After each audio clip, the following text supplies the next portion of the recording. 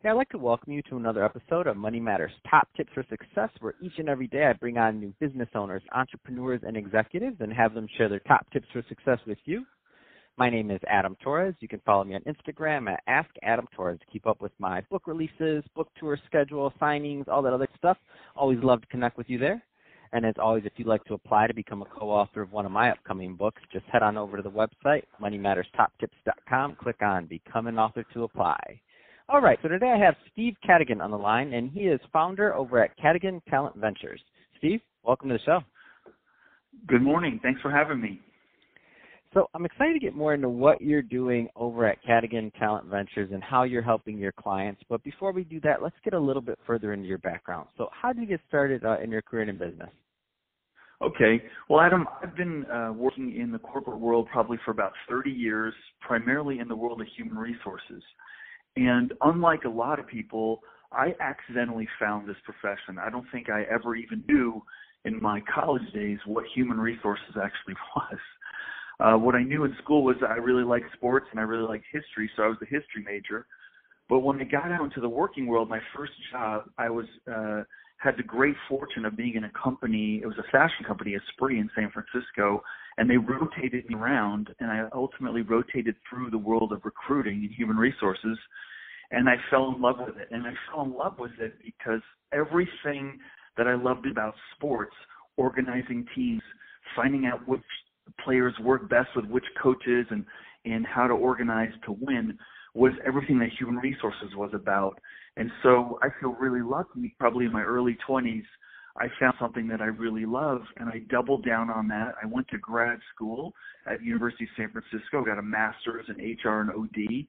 And since then, I've worked in about six different industries, uh, three different countries. I've worked in the U.S., Canada, and Singapore. And I'm very proud to say that you know, I've had a really exciting, very successful human resources career about six years ago, um, I was uh, left being the first head of human resources at LinkedIn and decided to go off on my own. I took a little bit of a breather and decided that what I wanted to do was really help a lot of organizations address, you know, talent um, and resource challenges that we had faced when we were growing LinkedIn from when I was there 400 employees to about 4,000. So that's how I got started, and that's a little bit about what I'm doing today. Wow, that's amazing. Uh, and I do want to get that we're going to definitely get more into Cadigan Talent Ventures and what you're doing today. I want to get in depth there, but um, before we do that, I, I think it's real. I can tell when somebody really loves what they did, and you did fall in love with it in your early 20s. That whole HR side and the and the recruiting side, I think is really mm-hmm. interesting because mm-hmm. I find that the people that really love it, that are in the profession, they do very well, and their clients are better served by them. And um, I think that um, just like you, how you discovered it kind of by accident. There may be some mm-hmm. younger individuals right now that are just graduating college that are um, listening to you and they're discovering it by accident as we speak. Um, that being said, um, what kind of advice would you give to that young person that maybe hasn't concern, um, considered going in that direction as a career? Yeah, that's a great point, uh, Adam. And you know, the first thing that I like to tell a lot of the students, and I do a lot of career coaching for both young and uh, and seasoned veterans in in the working world. But the first thing I like to tell people is, listen, if you don't really know what you want to do professionally, don't stress about it. I literally graduated without a clue. Uh, my parents were both in the nonprofit world. My dad's an ordained minister. My mom worked in nonprofit daycare centers. And all I knew was that I wanted to do something different. And I had no business role models. And what I did was I followed where I really was most excited. Who did I like working for? The kinds of problems I like solving. And what human resources, what, what attracted was that, you know, recruiting is really like setting up a team. It's like we all know how to do that from the earliest days on the playground, you know, selecting a dodgeball team, you know, who's got the strong arm, who's fast, who's quick. Um, and you translate that into the world of work the greatest thing about the world of human resources for the people that may not be familiar with it is that I can work in any industry, in any country. I'm not vulnerable to a downturn. Let's say if I'm a specialist in banking or insurance or healthcare, I can work the craft of talent in any industry in any part of the world. And that's very, I mean, you don't think about that, I don't think, when you're in college. You don't think about what are the elements I should be thinking about. A lot of the focus that we get as students is where can I make the most money? And that's not a bad thing to focus on or be aware of, but I think larger than that is, hey, if I have the capability of working cross industry, cross geography, that's going to make the domain of opportunity for me really much bigger than any other choices I could be making, you know? And I, I love that advice, and I love your thought process. So, and, and I think too much, too many of us place that focus, which you and I are far beyond uh, our just graduating years. But uh, when, when I was, I know I was thinking, where can I make some money? and that was right, all, right. that was all I was thinking. And uh, and I ended up in some pretty good places. But in retrospect, if I had even opened up that other side of my thought process, could have been interesting. Um, but let's right. see, let's uh, let's let's uh, switch it up a bit. I do want to get into mm-hmm. what you're doing uh, now over at Cadigan Talent Ventures. So first, uh, you hinted at it, but let's go further. Tell us a little bit more about the business, please. Sure, sure. Well, first off, my business is really just me. I call myself a talent advisor. I don't call myself a consultant because I never liked consultants, and I always felt that they overcharged me. But uh, right now, uh, a lot of my a lot of my focus is really helping individuals or companies build talent strategies that are going to allow them to uh, bring in a great team, to realize the best out of that team, to to really get to levels of high performance and then also to try to help companies distinguish themselves in a very, very busy, competitive market for talent. And you know this because we both happen to live in the Bay Area, California, especially Northern California, extremely competitive to try to get a good group of people. And the opportunities, it's like a career candy store here. There's so many cool companies with cool benefits, mm-hmm. working on cool products. And so it's hard if you are a no-name company, you don't have the sex appeal. I help organizations uh, around the world, you know, try to find their story, try to find their real unique elements of their culture that are going to allow them to stand out and to and, and to bring in really good people. And so that's largely what I do. I speak at conferences around the world about this. I'm in the midst of uh, finishing a book around the future of work. Um, and the, the biggest thing I'm focused on right now in that respect is the fact that how people are thinking about working careers is going through a radical transformation right now. People are not staying in companies as long as they used to.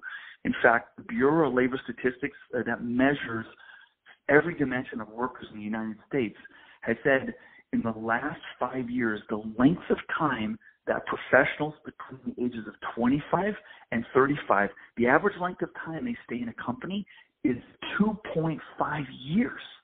And that is the average. So think about that. We've got a huge number staying a lot less. I would venture in the Bay Area, it may even be less than two years that people mm-hmm. stay on average. So, so how do you build something special when people aren't staying? And should you try to keep people longer, or should maybe you think about a model where you take into account that people may not want to stay, and that's not something that you should be offended by, but you should recognize the reality is workers have far more choice around where to go than ever before, and they may want to make moves more than we've ever seen at any point in the workforce.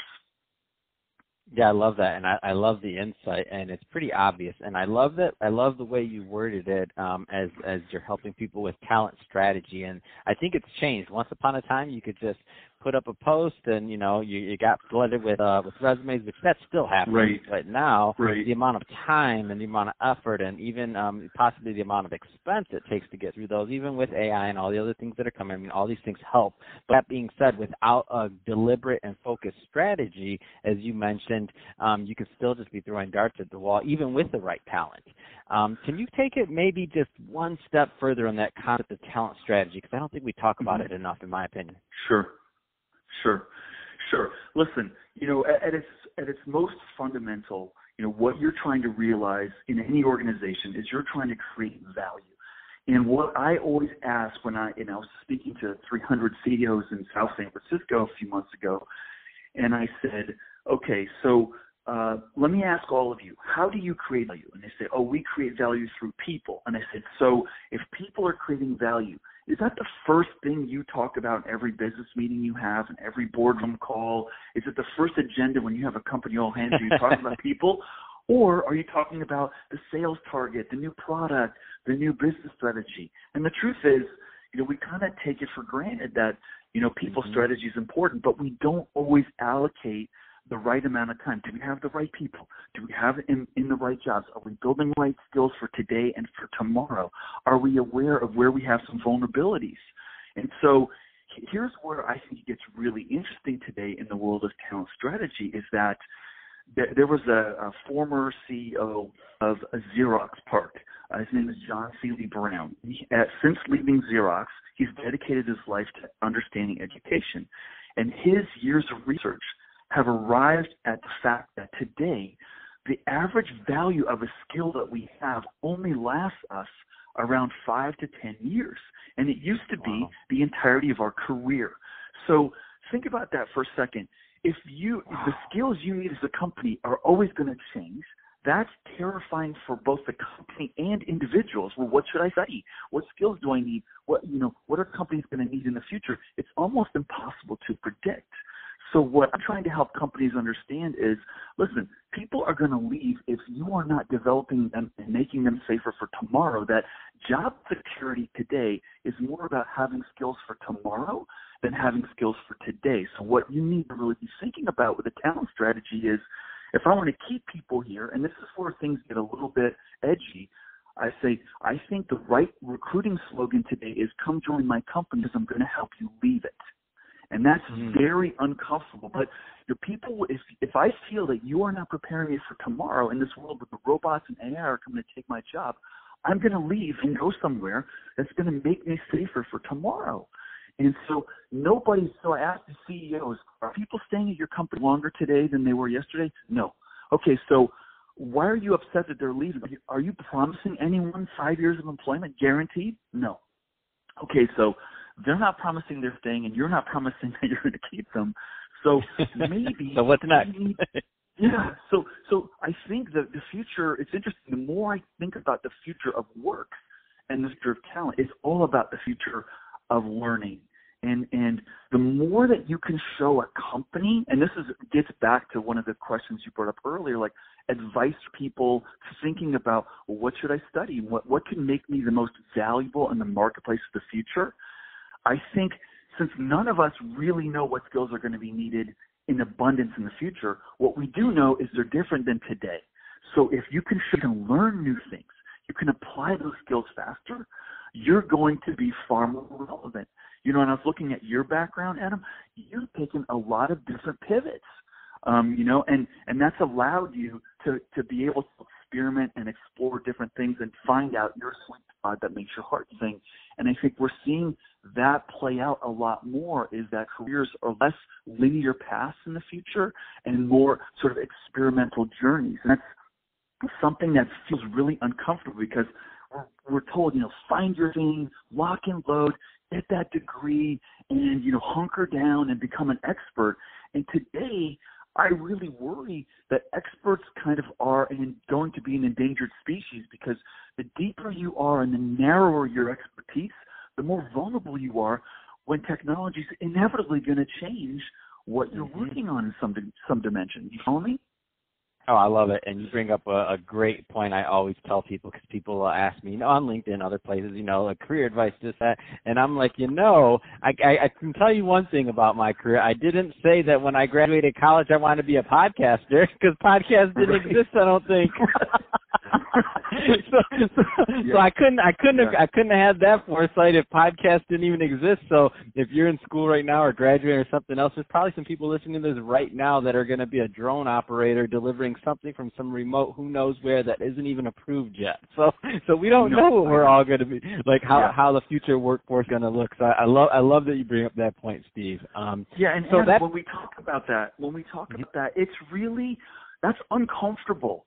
You know, it's a new way. The the future, uh, the Institute of the Future has said that in 20 years, 70% of the jobs are going to be performed that don't. They're, they're going to be jobs that don't even exist today.